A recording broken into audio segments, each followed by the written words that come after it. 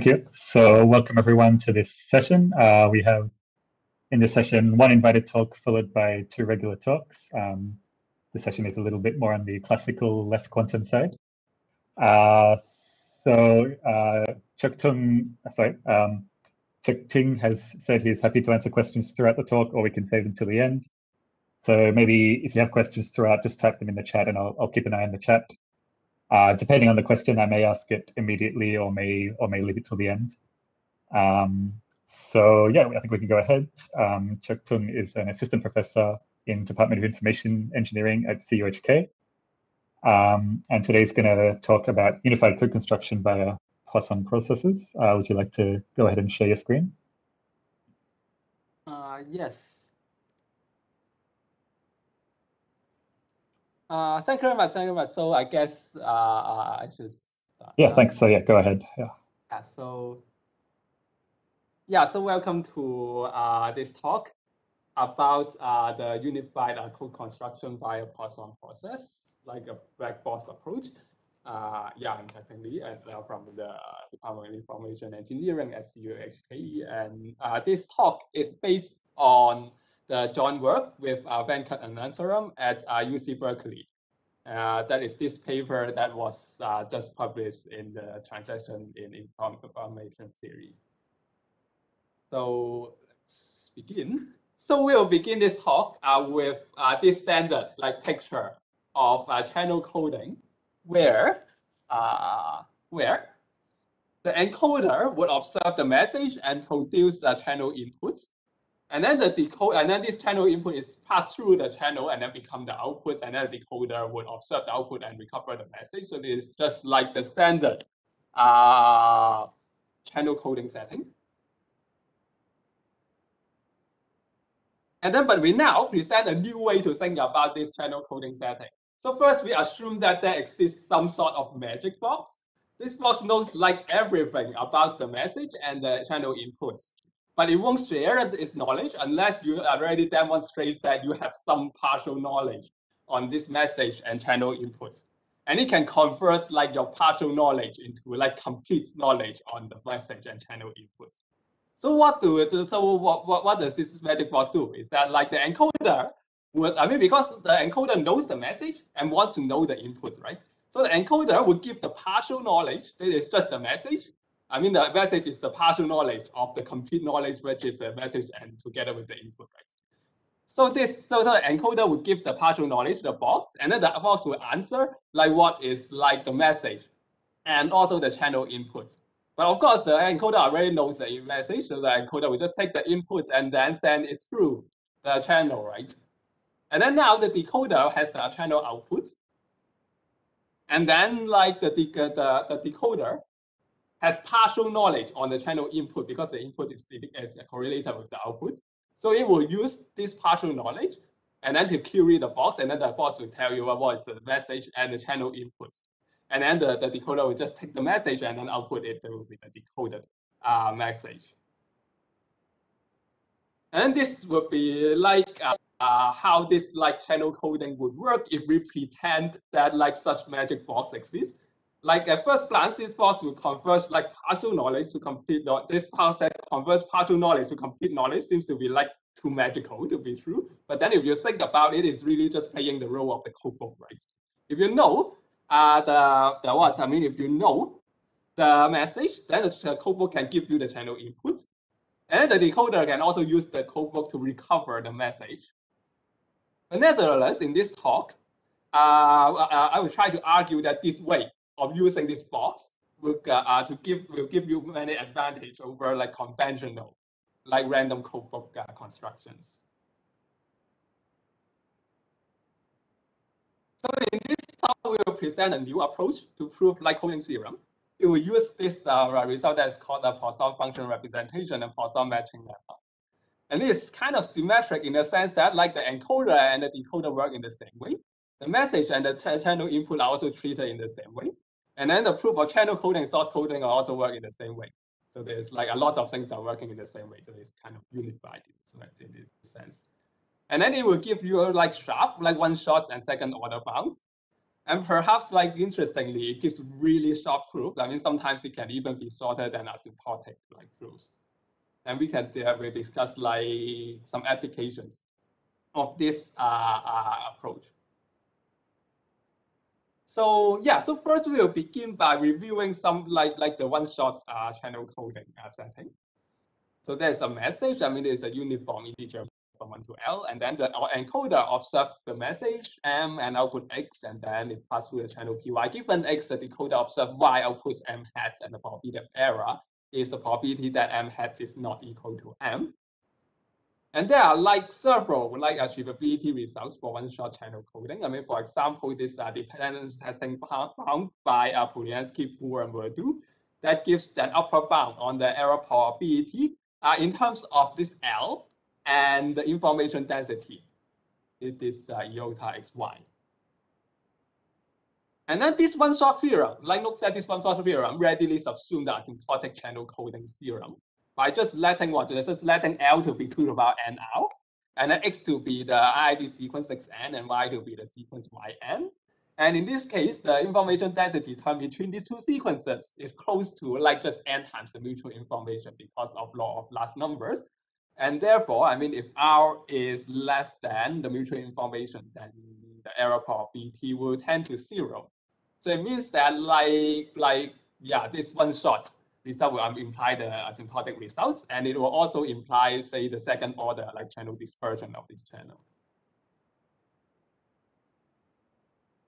Yeah, so the, the conventional way of proving this kind of results is by random coding where we generate the random codebook C, I mean, uh, uh, uh, with entries like X1 up to XL, IID at random following the input distribution PX. And what the encoder do, encoder will just look up the M entry of this codebook and, send it through the channel. And then the decoder can use a lot of methods. For example, I mean, the optimal thing to do is maximum likelihood, but it can also use what are sometimes like you can use uh, other construction like stochastic likelihood decoder by uh.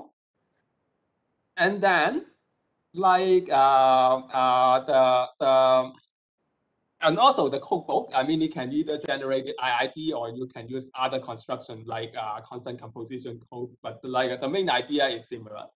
And for multi-user settings, the, the conventional way of proving one-shot and finite blocklength result is to mimic like asymptotic techniques like using random codebook and using some one-shot version of uh, packing and covering lemma in order to uh, like instead of the asymptotic one.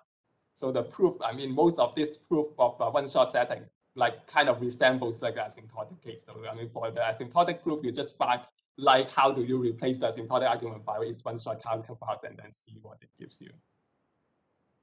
But like in this talk, uh, we, we will uh, present a new way to look at this channel coding setting. So we will treat the codebook as a box.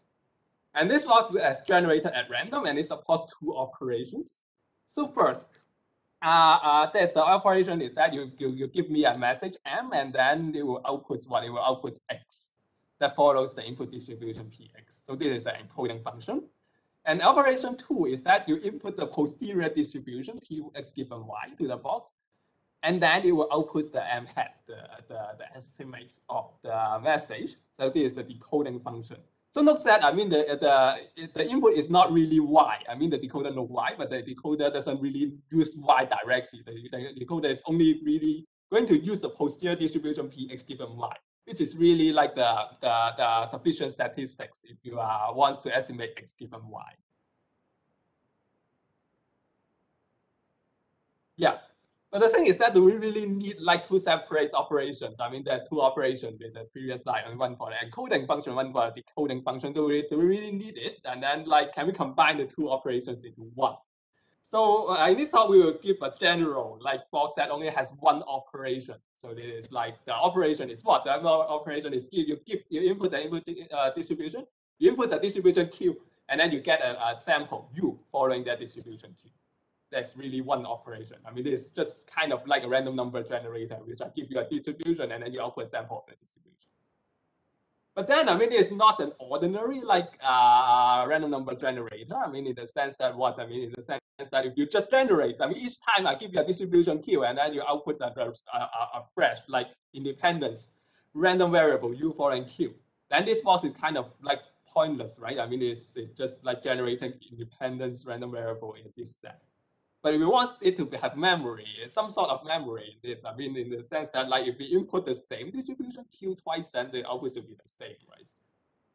So he, so the, the box will have not just generate this, this, this like samples like each time independently. So in this, uh, uh, so, so you can see that uh, the box initially can be random, but after the initial randomness in the box is fixed, then everything else is should just be functions. I mean, if you, I mean, the output should just be a function of Q. So it should not add additional randomness to it. So that like if you query two, uh, give you a query the same distribution twice, then it should give you the same thing. It should give you the same answer. So this will, make, make the box useful for like uh, uh, encoding decoding, right? Because I mean, the, like like like the conventional uh, uh, proof of the uh, channel coding theorem. I mean, you first generate a code by random, and afterward, the encoding and decoding is deterministic. So this is just like this the case in this box. I mean, the box is initially generated at random, but afterwards, how do we generate this U is deterministic. And then we will see how we actually construct this box. So we will uh, uh, first uh, talk about this construction, like uh, by uh, Professor El Gamal and myself, uh, called the Poisson functional representation. So uh, first we define this uh, U bar I and Ti to be the points of a Poisson process with an intensity measure mu uh, across this uh, 12 mu times this uh, Lebesgue measure. So this mu can be any any like measure. I mean any like uh, finite measure. But then I mean the, the the picture is like I mean we are generating like 2D points in this uh plane. And then the horizontal coordinate will be u and the vertical coordinate is t. And then we just randomly scatter points on this plane. And now, uh, given this like, like Poisson process, again, and then given a distribution p, what do you do? I mean, you would first, you would like find the points that minimize ti divided by the density of p with respect to mu evaluated at u bar. So this thing uh, you, uh, and then you will just output the u coordinates of this. I mean, you will discard the t coordinates and output the u coordinates of this uh, thing of the of the of the point. So the picture is like this. The picture is like, uh, let's say, I mean, in this figure, the red shape is the probability density function of p. And then you would keep on scaling this red shape up until it hits the first point. So in this case, it hits these points like U bar 3 and T3. So in this case, and then you will output uh, U bar 3. You will just output this, this the letter thing you output will be U tilde P. And then U tilde P is just equal to U bar 3. So this is the, the point that you output. And then a nice thing about this is that by the mapping theorem of Poisson process, the points that you are going to output actually follow the distribution P. I mean, to, to, to gain some intuition of this, uh, suppose like, well, I mean, for consider the case where mu is just a uniform distribution from zero to one.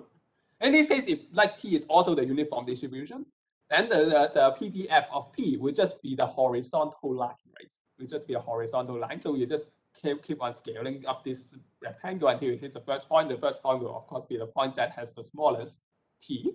And then in this case, if you only look at the u coordinate of it, then of course it is uniform from 0 to 1. So indeed, in this case, then you can see that the u coordinate of the selected point will indeed be uniform from 0 to 1, right? And then you can also do it for, say, I mean, if p is uniform from 1 half to 1, then in this case, then what will happen is that you just select the, the point with the lowest t, where the u coordinate is between 1, 0, 1 half, and 1, right? So this is the same as scaling this red rectangle up until it hits the first point. And at that point, I mean, if you only look at the horizontal coordinate, then of course it will be uniform from one half to one. And in general, this is also true. I mean, regardless of what shape you what, what P is, then the point you you you select using this uh, using this mechanism will have the distribution P. So this is like uh yeah, so this is a property of Poisson process. But what is like what makes this, this construction useful is is that like I, he can say something about the case where if you have two distribu two distributions, you create two distributions, then how, when will the, the two point selector be equal and where will the two point selector be not equal? So uh, of course, it will depend on the position of the points, which is random, right? I mean, for example, if the points is distributed according to the left figure, then we can see that both U, P, and U, the, both P and Q, will select the same point. I mean, they will hit the same point. So it is this point U bar 3. But in the, the case for the right vector, then you can see that they hit different points, so they will output different points here. So you can actually like find the probability that uh, uh, they select different points. Like, like, like, I mean, U tilde Q will be the point selected by Q and U tilde P is the point selected by P. So these two are different.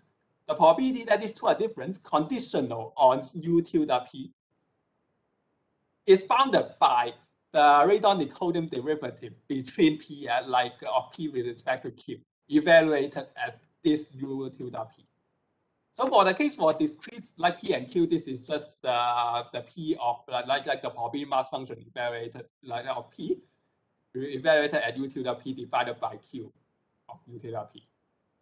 So this is a, a, a somewhat sim simple bound on this probability that these two uh, distribution will select different points.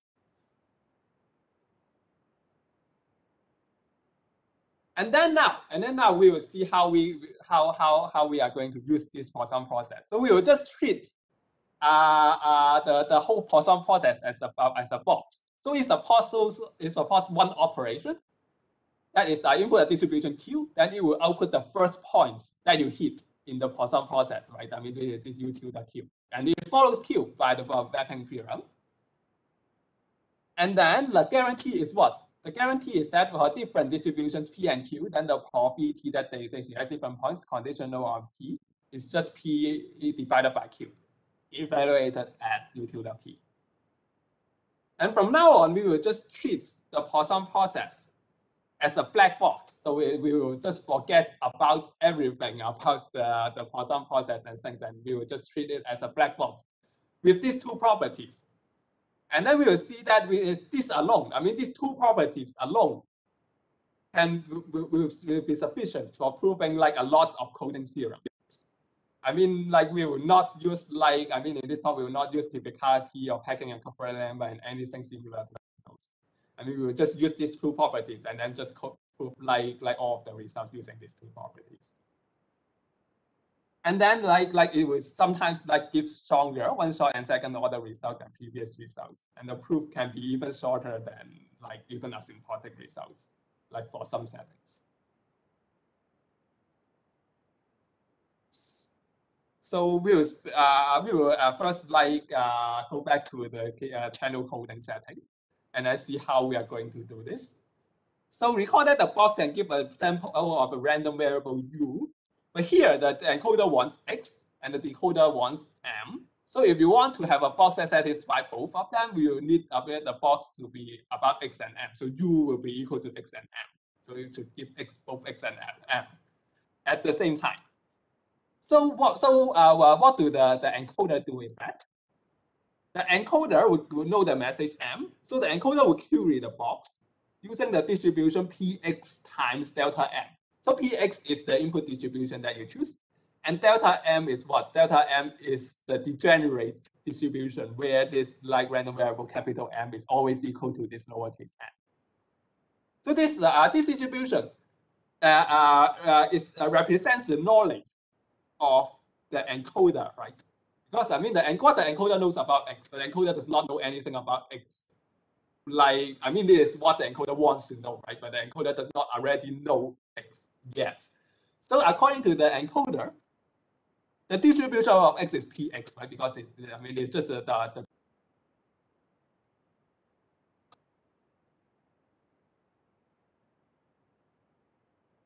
encoder. What's the distribution of m? It's just delta m, right?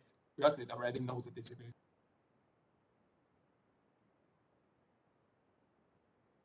But, but we, that, let's assume that they are independent. Then in this case, then the distribution of x and m according to the encoder is px times delta m.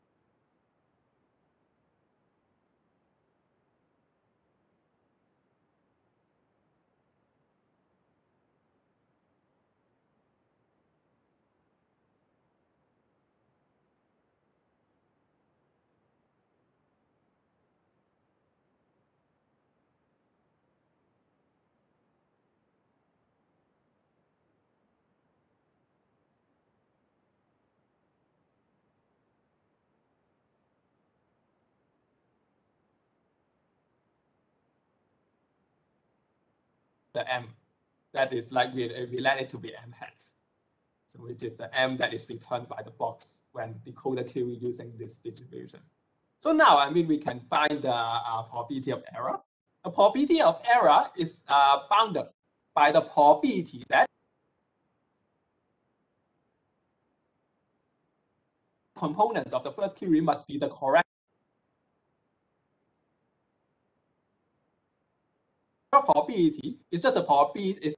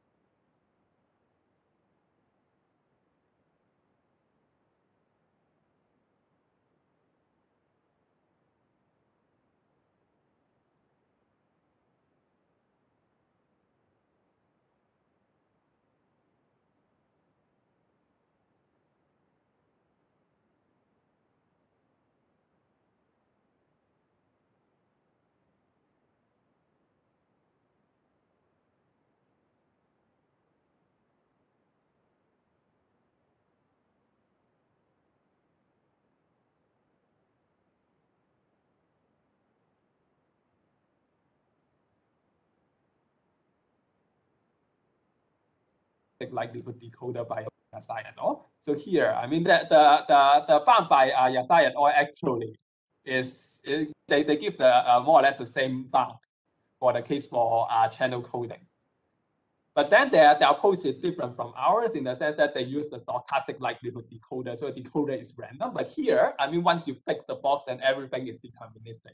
So we are kind of like having all the randomness in the box instead of, of their approach where they have like randomized and later on we will see like like that that like our approach has some advantage.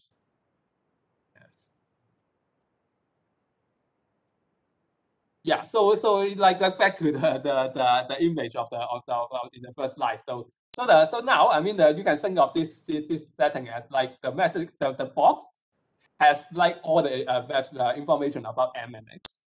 But uh, uh, how how how would the encoder use it? Is that encoder would uh, the encoder no x, and the, and and then the message box, then the magic box will answer like what is m and x.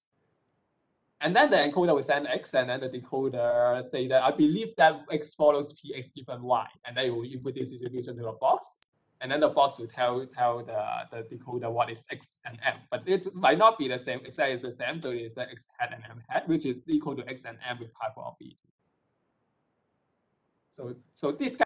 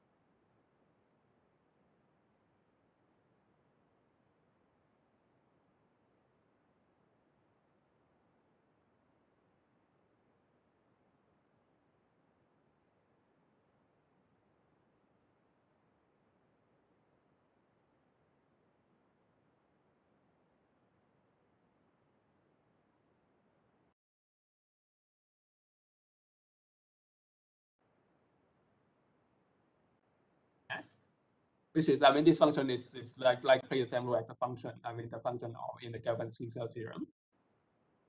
And then now it will send this to the, the decoder, and then the decoder will receive y. So the y, uh, the decoder will do what? I mean, the decoder will use its knowledge on u and m. But what, what does the decoder know about you? I mean, y is correlated with u, so that the posterior distribution is pu given y. And the decoder does not know m, so the distribution is pm, which is uniform. So in this case, uh, the decoder will query the distribution using this distribution and get u and m, and it will just output m hat. Then now, and then now, I mean, we, uh, uh, we can find the probability of error by the Poisson matching lemma, and it's just this ratio. This ratio is evaluated as this uh, uh L times this this to the power uh, this uh, information density between U and S minus uh, and information density between U and Y. And yeah, of course, we have. Uh, uh, I mean, I mean, we, we actually need this minimum of what between this and one here. I mean, so that this this bound won't be trivial. And this, I mean, of course, this, this minimum and between this and one can, can be taken because this is a probability, so it's of course bounded by one.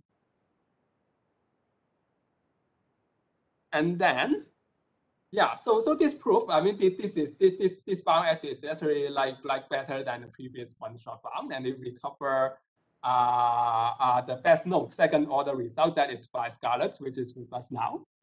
Yeah, but but, but uh, uh the proof by Scarlett uh, is uh, uh, a bit more complicated, so it uses uh, constant composition code. But here we we don't really use any complicated like code construction. So we did, uh, this this slide is is really the whole the complete proof of this result. So it is like really really short, and it is also a one shot result. So it is it not only give you second order, but it only also give you one shot result. And now and now uh, we will see uh, uh, the, this, that, this technique. Uh, we will uh, uh, try to use this technique also on source coding settings. So now, consider the lossless source coding setting where the encoder will observe x following px. And then it will encode it into the integer m from 1 to L. And then the decoder will observe, will observe M and then recover X hat, and we want X hat to be equal to X with high probability. So what, so what, so, uh, and then we want to use this box to construct a coding scheme. So what will we do here? Is that now, I mean, again, I mean, because the encoder want to know M, the decoder want to know X, and so we, if we want to satisfy both of them, we should have a box that is about X and M, right?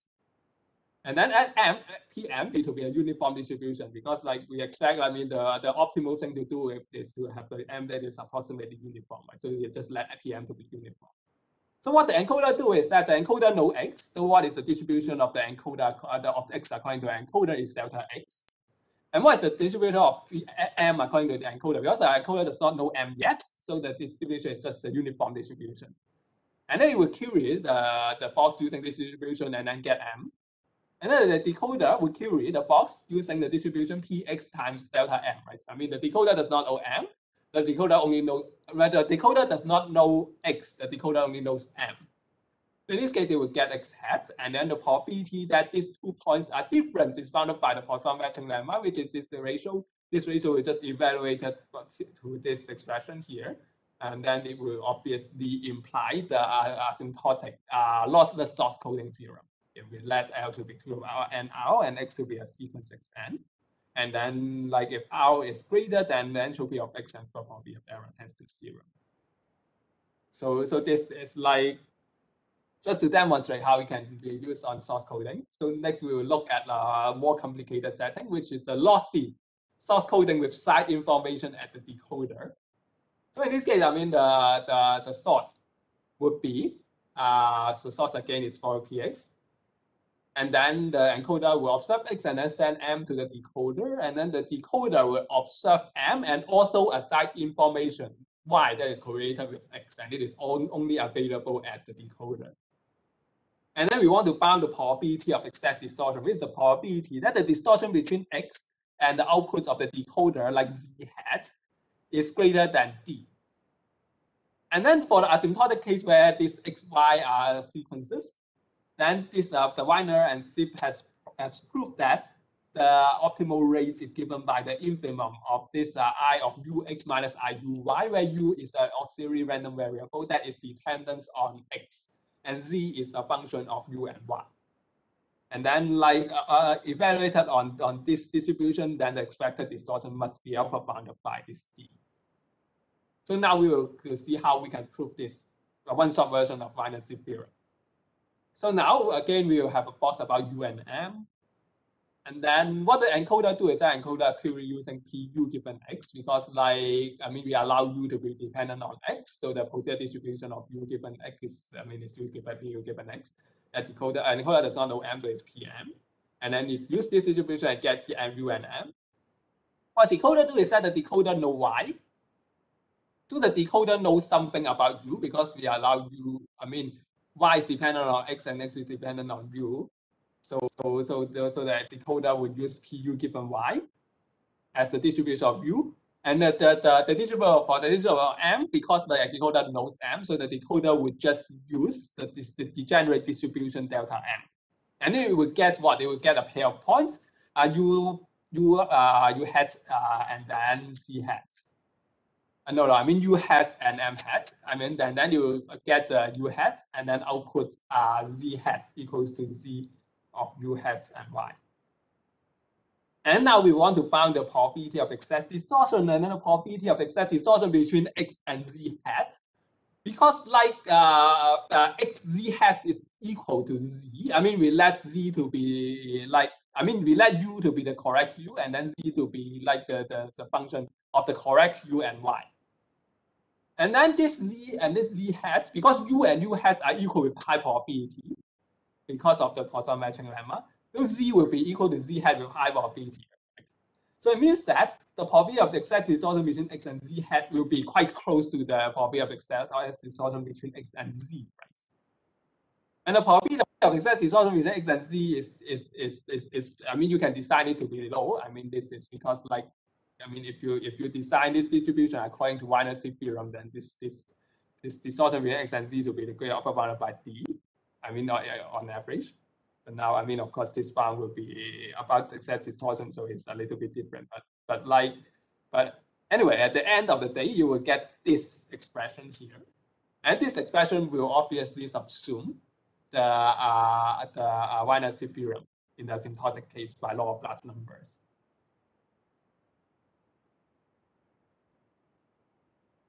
Yeah. So now we have seen some application of the new approach. We can compare it to the existing approach. So when, when like previously, when we compare a asymptotic approach, like uh, typicality and covering lemma and packing lemma, like to the previous one-shot approach, like one-shot version of this uh, packing and covering lemma. So the the the the, the one-shot approach, the one-shot like results can give about for any finite blocklength n. But the drawback is that the proof is usually much more complicated, right? So that's a, a uh, trade-off here. So perhaps like a reason why asymptotic result is so popular. I mean, every textbook like in information theory starts with like asymptotic results because what I mean because like it's it's it's, it's like a proof is very simple, right? But but uh, but the new approach actually shows that you can actually also do very simple like results and also get one shot results. So it's like the best in both worlds. But like, yeah, so it's like it, it looks like it is like better than like previous approach for, for in all aspects. But like, I mean, I mean, I would be lying if I say that the new approach has zero downside. So as we will say later, then it is like a little bit tricky to apply this this this approach to multi-user setting. So like next we will see some multi-user setting, like uh, uh, for example, the multiple access channel. Uh, this uh, uh, in this case, then they had two messages, independent messages M1 and M2. Encoder 1 observe M1, and then produce X1. Encoder 2 observe M2, produce X2, and then it's passed through the channel PY given X1, X2, and then become Y, and then observe that the decoder, the decoder would output M hat 1 and M hat 2. And we want M hat 1, M hat 2 to be equal to M1, M2 with high probability. And the capacity region of this uh, multiple access channel is given by the convex uh, closure of this region of uh, R1 and R2 where R1 is less than I, I, I, uh, IX1 Y conditional on X2 and, and R2 is also bounded by I uh, X2 and Y conditional on X1 and R1 plus R2 is less than this mutual information between X1, X2 and Y. And then we will just take different input distribution and then take the convex closure on this thing. And now we will try to prove like a one-shot version of this result. So how are we going to do this is that we have two boxes. Uh, because like now, I mean, the, uh, the, uh, the encoder one wants M1, the encoder two wants M2, but they don't really need to agree on, on anything, right? Encoder one and encoder two. I mean, they don't really need, I mean, encoder one obviously does not need to know, know M2 and encoder two does not need to know M1. So, so, but the, the problem of the box is that the box always give complete information, right? And we don't really need this. So, so what we do is that we will have two boxes, two independent boxes, one about X1, M1, and one about X2, M2. What the, the, the encoder do is that encoder would do what exactly the same thing as channel coding. I mean, encoder one would use the box X1, M1, and then you will query like like the degenerate distribution as M1, and then you get X1, and then it send this X1. And what the decoder would do is that the decoder would first use the box one, box about X1 and M1, two, and then on the, the, the, distribution of px1 conditional on y. So this is the posterior distribution of x1 given y, right? And use this distribution to query the first box, you will get uh, x hat 1 and m hat 1. And now, the decoder also know x1 had 1. So that now the encoder actually know a little more about x2, right? Because x2 can be conditionally dependent on x1 given y. I mean, they are x1 and x2 are independent itself, but like conditional on y1, they might not be independent. So we will x2, I mean, the, now the posterior distribution of x2 is px2 conditional on y and x1, and then you will use this distribution to query the second box and then get m has 2. So now, I mean, the, the probability of error is bounded by this expression. I mean, we have two error terms here. And then they will recover our corner points where R1 is IX1 and Y and R2 is IX2Y given X1. And it is a corner point of the capacity region. So I mean, we can't really achieve the whole region, but just one corner point. But if our goal is just to recover the asymptotic result, then this is sufficient because you can achieve any point. I mean, you can flip the row of, of, of x1 and x2, and we get another corner point and then do time sharing between these two corner points, right? So you, so you can get the whole region for asymptotic case. But I mean, if our goal is to have a one-shot version of like uh, uh, of the whole capacity region, then this is not good enough, right? I mean, this is so later on, we will see how we can do like the whole uh, capacity region. And then we can also do a broadcast channel. I mean, for broadcast channel, then the message, I mean, there are two messages, M1 M2. Then encoder observe both of them and output X, and then it's passed through the broadcast channel PY1, Y2 given X. And then the, the decoder 1 will observe Y1 and output M 1, decoder 2 will observe Y2 output M 2. And the asymptotic case where x, y, 1, y, 2 are all sequences, then the, the inner bound, I mean, given by Marton, is given by like these three constraints here. And where U1 and U2 are auxiliary random variables that can be dependent of each other. And then X is a function of U1 and U2. Yeah, and then we'll see how we can prove a one-shot version of this. So again, I mean now now now the the, the encoder would need to, I mean, you have two boxes. I mean, you U1 M1 and U2 M2. The encoder would uh, know M1. I mean, the encoder uh, uh, would use the distribution, degenerate distribution M1 to query the first box, and I get U1. And after the encoder already know U1, so that uh, now the encoder's knowledge on U2 changes, right? Because U2 can depend on U1. So now the, the encoder's knowledge on U2 is PU2 given U1. The encoder's knowledge on M2 is delta M2. And you use this distribution to query the box and then output and then get M2. And it will send X to a function of U1, U2. And then like decoder would be exactly the same thing as uh, channel coding. So now we will get, I mean, we will get two error events. I mean, because they need both like the queries. I mean, the two queries to the first box and two queries to the second box to be the same. So we get this bound. So now we again we, we get uh, one corner point of Marton's inner bound. And we, I mean, if our goal is to do the asymptotic cases, uh, it's also sufficient because we can flip the role of like R1 and R2 and then timeshare between them. But now, I mean, if we are, if we want to prove a one-shot version of the Marton's inner bound, it is not good enough because what? I mean, because like, I mean, we can't do time sharing for one shot. I mean, we can do time sharing for binary blocklength, but it's usually not a good idea. It will give kind of like like suboptimal results. So uh, uh, how, how can we like achieve the whole bar, whole, whole Marton's region? So the first idea is that like instead of like having the first box, which is about uh, uh, U1 and M1, because the the, the is uh, is actually like like too stringent to to like commit to U1 by just querying the first box. Because I mean, in the first query of getting U1, you are not taking box two into account, right? So you want to be more lenient. I mean, we want to be like less about U1. So a way to do it is that, I mean, instead of having a box about U1 and M1, instead you have a box about the list of U1, I mean, a sequence of U1. You have U1, 1 up to U1L, and then M1. So the correct U is just one of them. But now you are not committing to any one of them. You instead you give a list of them.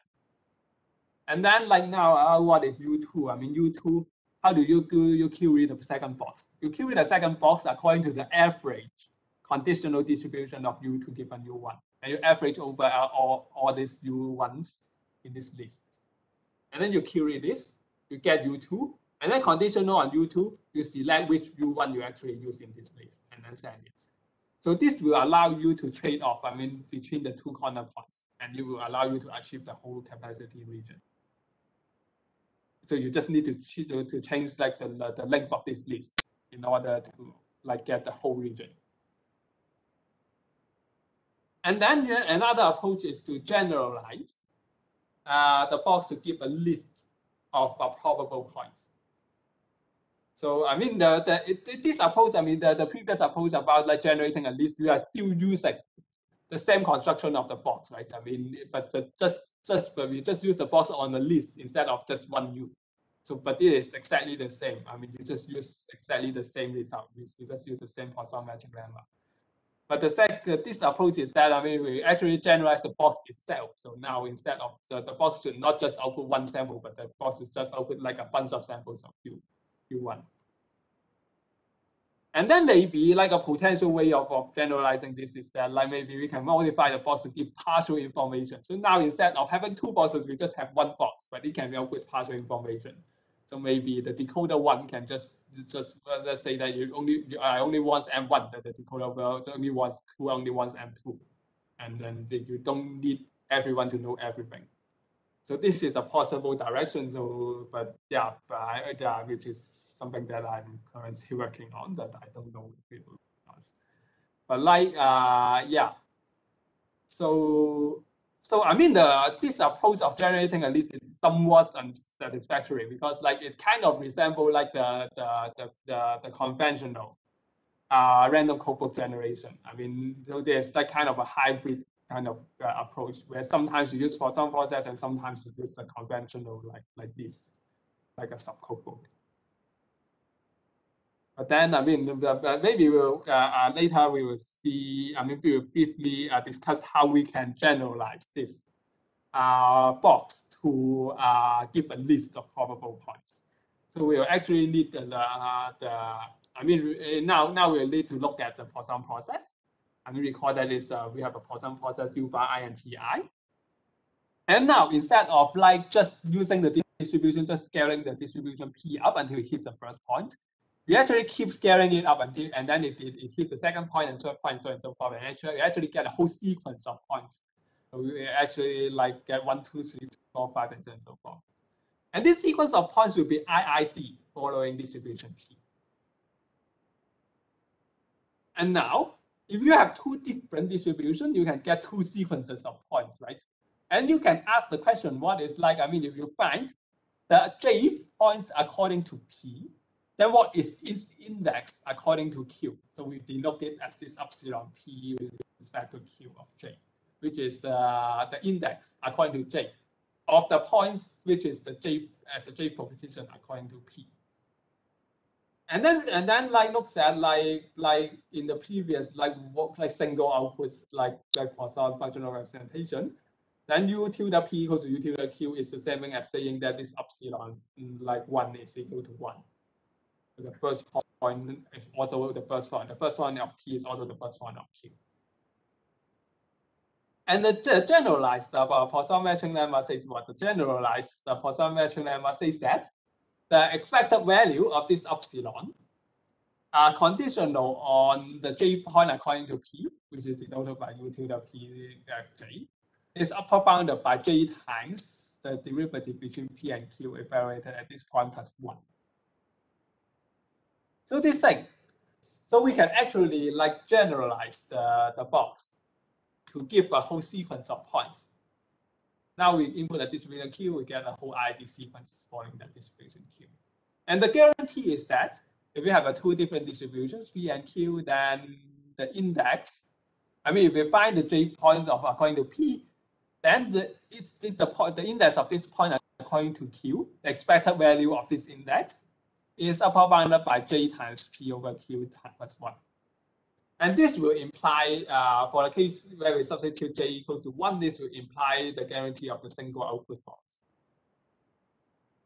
But, uh, but, but, but this, yeah, but this will also be useful for like our multiple access channel and broadcast channel, and also other settings like distributed lossy source coding and channel resolvability, channel simulation, and things.